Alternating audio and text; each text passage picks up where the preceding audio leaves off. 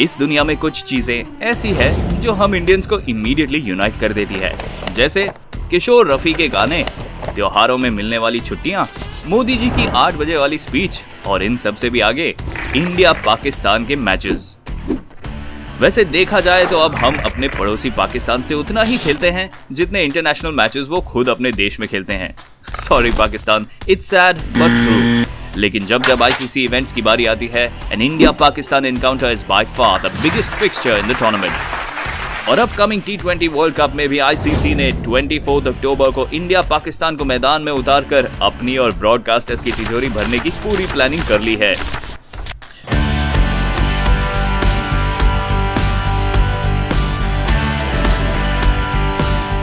Will it be fair to term India Pakistan a rivalry in the T20 World Cup? I mean, when one team is leading the head to head 5 0, it should be known as a one sided rivalry.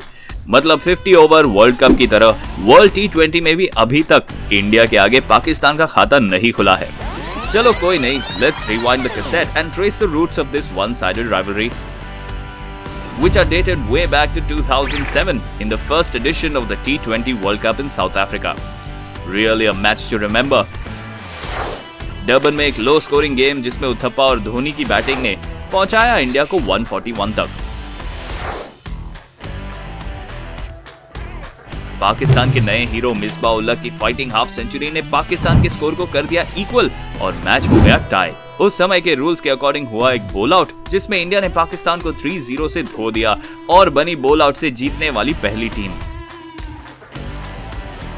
head to head count 1-0 शायद एक India Pakistan धमाके से 2007 के T world cup का मन नहीं भरा और दोनों टीम्स को वापस लाकर खड़ा कर दिया ग्रैंड फिनाले में।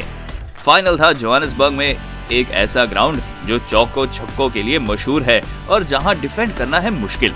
ऐसे ग्राउंड पर इंडिया ने पहले बैटिंग करते हुए गौतम गंभीर की फाइटिंग इनिंग्स की हेल्प से बनाए 157 इरफान पठान के तीन विकेट्स ने पाकिस्तान के चेस को वेंटिलेटर पर डाल दिया, लेकिन वापस आए Misbah.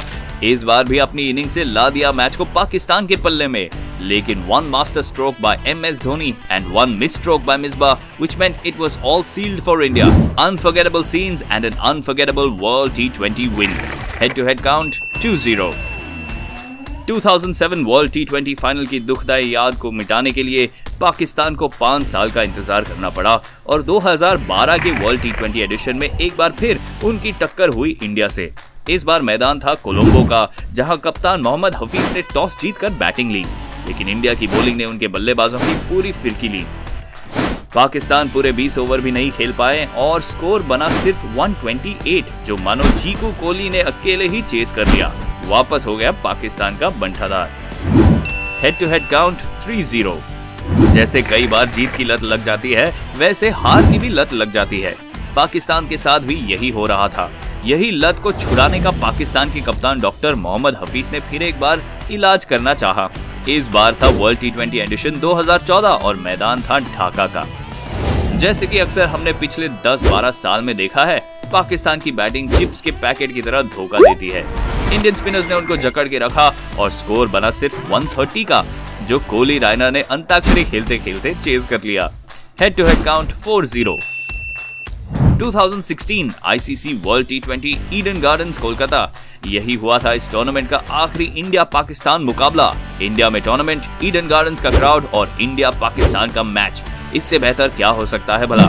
For ever young Shahid Afridi थे पाकिस्तान के कप्तान और उनकी ही टीम कर रही थी पहली बैटिंग बारिश के कारण मैच हो गया था 18 ओवर का और रन बनाना हो गया था मुश्किल।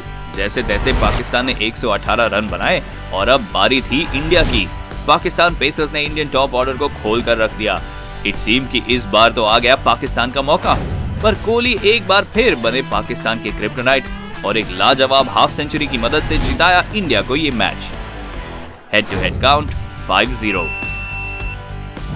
बस पाँच साल से ज़्यादा हो गए हैं इस बात को।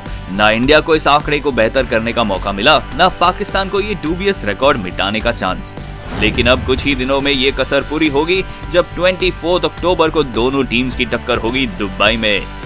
एक फन फैक्ट इस टूर्नामेंट में पाँचों बार जब इंडिया ने पाकिस्तान को हराया, तब कैप्टन रहे थे M S Dhoni and as we all know Thala is going to be the mentor of the Indian team in the UAE so don't be surprised if the rivalry report card reads 6-0 very soon stay healthy stay safe and stay tuned to Sportskeeda